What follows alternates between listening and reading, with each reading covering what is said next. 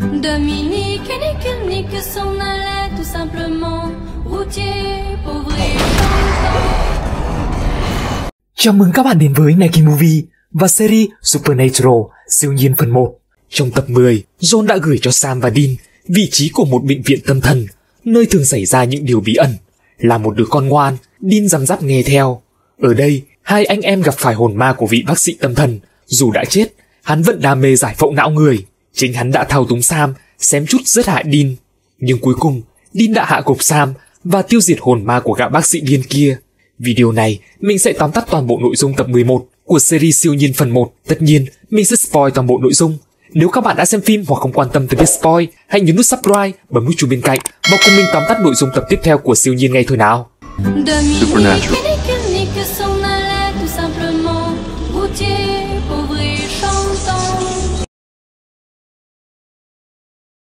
Một năm trước, tại thị trấn Perkiso, Indiana, sau khi được những người dân bản địa nhiệt tình giúp đỡ, một cặp đôi du khách vui vẻ rời khỏi thị trấn.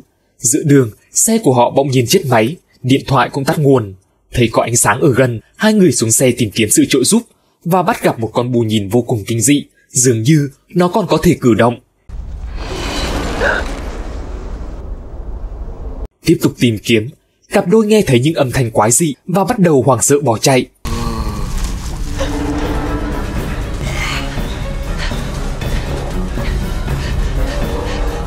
Chàng trai đột nhiên biến mất, khiến cô gái càng thêm hoang mang. Cô chạy đi tìm, nhưng phát hiện ra anh ta đã chết một cách dã man. Từ bóng tối, một kẻ bí ẩn tiến tới sát hại cô.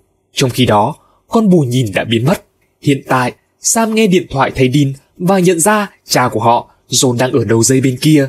Ông vẫn ổn và rất tiếc về cái chết của Jessica. Hiện ông đang truy đuổi con quỷ đã sát hại Mary. Tuy nhiên, vì sự an toàn của gia đình, ông không thể cho Sam biết vị trí của mình cũng như yêu cầu hai anh em ngừng việc tìm kiếm ông. Thay vào đó, John cần hai người thực hiện một nhiệm vụ khác. Sam không đồng tình, bắt đầu tranh cãi với John. Cậu muốn tham gia hỗ trợ ông. Thấy vậy, Dean giật điện thoại và răm rắp nghe lời.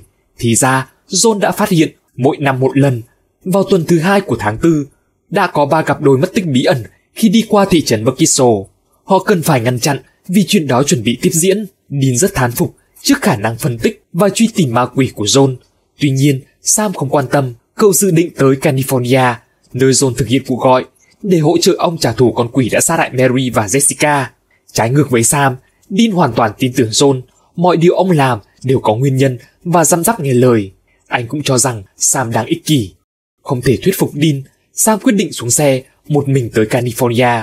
Dean đành một mình tiếp tục hành trình. Sáng hôm sau, anh tới thị trấn Bokeso, bắt đầu hỏi thăm về những cặp đôi mất tích. Mọi người đều khá cẩn trọng và nói không biết chỉ có một cô gái trẻ tên Emily nhận ra hình xăm của chàng trai mất tích kia. Được cô nhắc nhở, dì dượng cô mới nhớ ra, từng chỉ dẫn họ đi về phía đường cao tốc, Dean đi theo hướng đó và thấy thiết bị đo từ trường không ngừng báo động. Anh xuống xe, đi vào vườn táo gần đó và cũng bắt gặp con bù nhìn quái dị. Nhờ tài quan sát, Dean chú ý thấy cánh tay của nó có một hình xăm rất giống với anh chàng mất tích năm ngoái. Dean trở về thị trấn đổ xăng và được Emily cho biết do cha mẹ sớm qua đời, cô đã tới thị trấn sống cùng dì dưỡng từ khi 13 tuổi. Đây là một thị trấn tuyệt vời, chẳng bao giờ gặp phải tai họa gì hết, cứ như được che chở vậy. Trong khi đó, Sam đi bộ cả đêm và bắt gặp mẹ. Một cô gái đang đợi xe đi nhờ, cô tỏ ra khá cảnh giác với Sam, nhưng không ngần ngại lên xe của một người đầu tiên cô gặp. Rất tiếc, Sam không được đi cùng. Rất vất vả, cậu mới tới được bến xe. Tuy nhiên, hôm sau mới có chuyến đi California. Vì vậy, cậu đành ở đây chờ đợi. Tình cờ sao, mẹ cũng ở đây, cô cũng đang đợi để tới California. Có cùng điểm đến, hai người bắt đầu trò chuyện và kết bạn.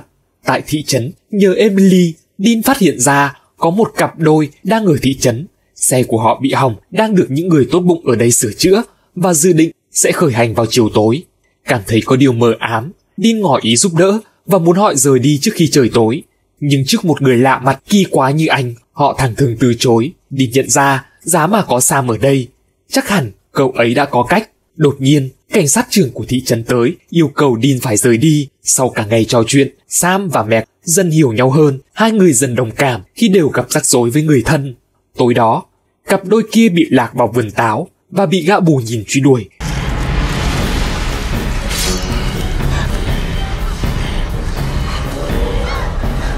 May cho họ, Dean đã kịp thời có mặt Với súng trong tay, anh cản bước con bù nhìn, nhờ đó ba người đã an toàn.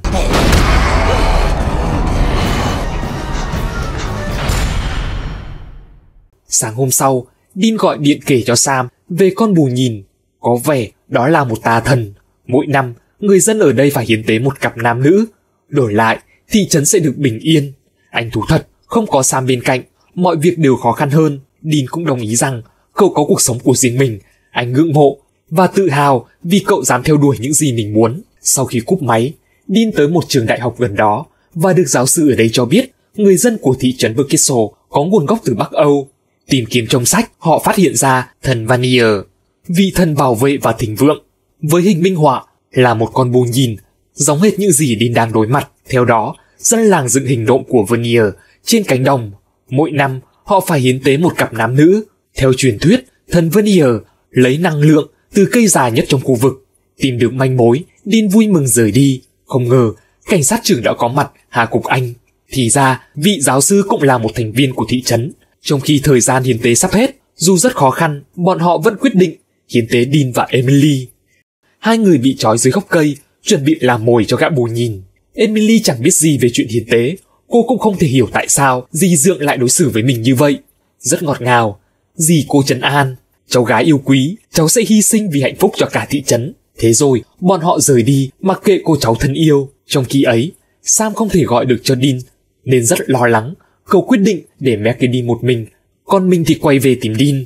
Tới tận tối, Dean và Emily vẫn chưa thể thoát thân, trong khi gã bù nhìn có thể xuất hiện bất cứ khi nào. Rất may, Sam bất ngờ có mặt.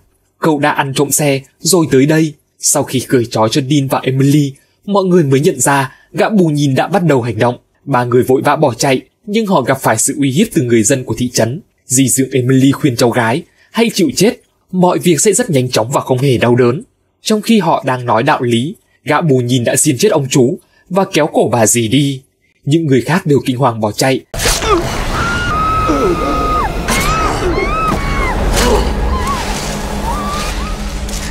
Sáng hôm sau, Sam, Dean và Emily trở lại vườn táo và tìm được cái cây dài nhất ở đây. Trên đó còn khắc một chữ cổ xưa, Rune. Không chần chừ, Emily quyết định tự mình thiêu dụi cái cây, tiêu diệt tà thần đã khiến cô bị chính dì dượng mình hãm hại.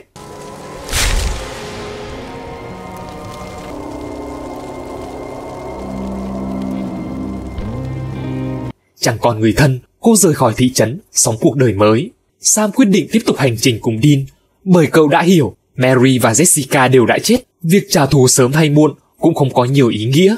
Quan trọng hơn, Dean chính là gia đình, cậu không thể để mất anh được. Tối hôm đó, mary tiếp tục đi nhờ xe của một người đàn ông và bất ngờ yêu cầu ông ta tấp vào bên đường, tưởng rằng sẽ được quất tơi bời, người đàn ông vui vẻ thực hiện. Không ngờ, mẹ cắt tiết ông ta và hứng máu đầy vào một chén bạc. Sau đó, cô đọc thần chú. Cô hỏi tại sao lại tha cho Sam và Dean. Biết được đáp án, mẹ cứ ngoan ngoãn trả lời vâng thưa cha. It makes no sense. I could have stopped Sam. Yes, Father. Meg là ai? Âm mưu của cô ta là gì? Tại sao cô muốn tiếp cận Sam? Phải chăng chính bọn quỷ phái cô tới? Để biết đáp án, hãy xem tóm tắt các tập tiếp theo nhé! Vừa rồi là tóm tắt toàn bộ tập thứ 11 của series Siêu Nhiên phần 1. Bạn nghĩ sao về tập phim này? Hãy cho bọn mình biết bằng cách để lại comment ở phần bình luận. Nếu bạn thích video này thì đừng quên like và chia sẻ cho bạn bè. Nhớ subscribe kênh Nagi Movie, bấm nút chuông bên cạnh để không bỏ lỡ các video trong tương lai. Còn bây giờ, xin chào và hẹn gặp lại. Dominique allait tout simplement, routier, pauvre et chantant. En tout chemin, en tout lieu, il ne parle que du bon Dieu, ne parle que du bon Dieu.